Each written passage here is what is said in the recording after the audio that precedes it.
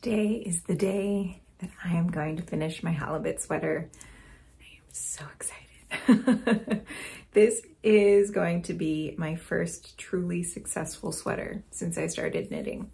I have made one sweater attempt that turned into a vest, a second vest, another, two more sweaters actually, and a cardigan. so two vests, two sweaters, and a cardigan, all of which are very much learning learning sweaters, learning knitting.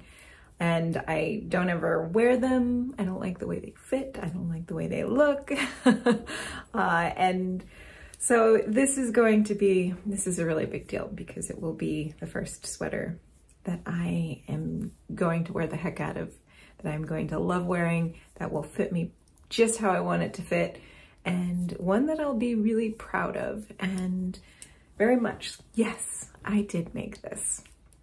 So the sleeve, I'm at the ribbing now. I'm just ribbing of the cuff. So I'll just show you where we're at. You can see how close we are to finishing it up. So I managed to use a circular needle for the first part of each sleeve. I found a cable in my interchangeable ChiaoGoo set that was short enough.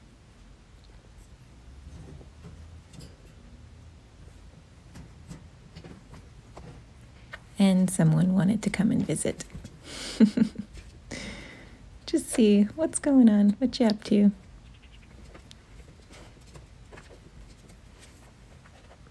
And then once the I had decreased enough that the the cable felt too long, I transitioned to my double pointed needles.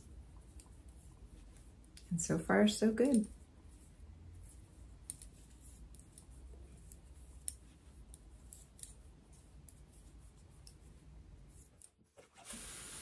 Taking a little break from my knitting to rest my hands and tackle some of the dishes that have piled up since last weekend.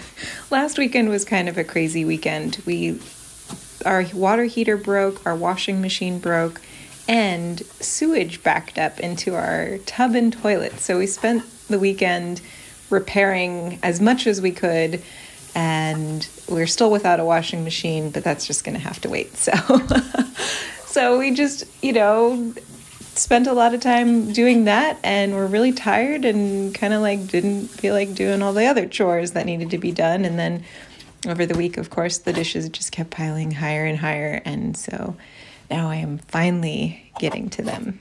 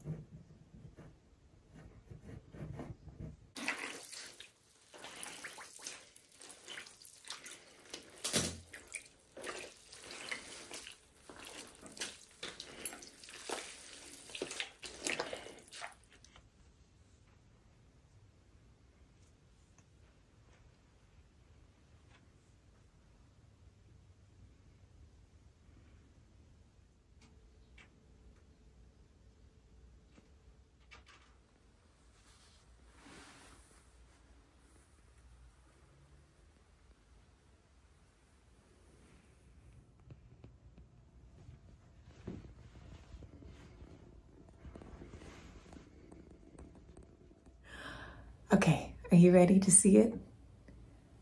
Do, do, do, do, do, do, do, ta-da! Here it is.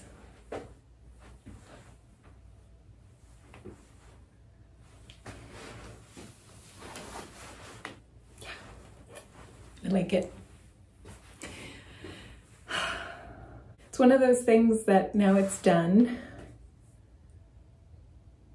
This was such a big project that now I'm left with that feeling, that l- a little bit of a void, you know? Just, it's been a lot of buildup, it's been a lot of energy, it's been a lot of work, it's been a long time coming, and now it's done, and I'm like, okay, now what?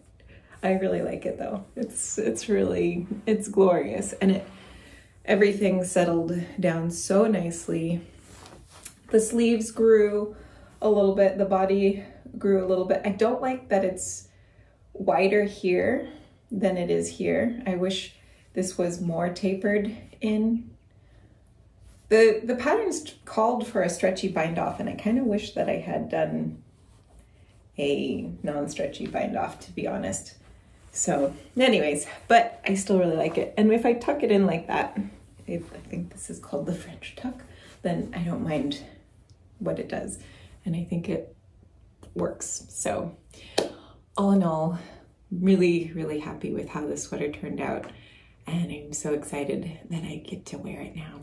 I am also wearing my my newest socks and I just am excited about the height of them with my boots. So that all worked out too. Oh, and I blocked the socks by the way, and the foot now fits really well. Because uh, before I was in my, my last video, I was just talking about how I was worried about the foot fitting a little bit too small. Anyways, I'm gonna go. Thank you all for watching. Bye. Oh, but wait. How does it look with my other Caitlin Hunter design, pattern, shawl, whatever? Love the colors together. Of course, it hides most of the halibut in the front, but the colors look so good. All right, I love Caitlin Hunter's designs. I can't wait to work on another something of hers. I feel so set. These two things and some of my socks are my best knits thus far.